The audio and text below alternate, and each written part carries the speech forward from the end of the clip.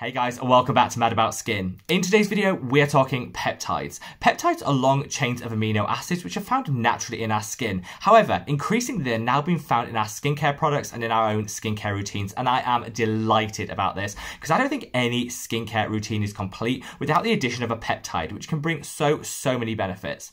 Not all peptides are created equally. Some will help with hydration to offset any dryness that you might be seeing in the skin.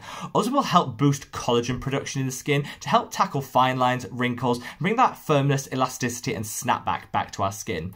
Some peptides are studied and clinically proven to help even out the skin tone if you have any hyperpigmentation and discoloration. So honestly, they're just a ding ding ding win-win in your own routine.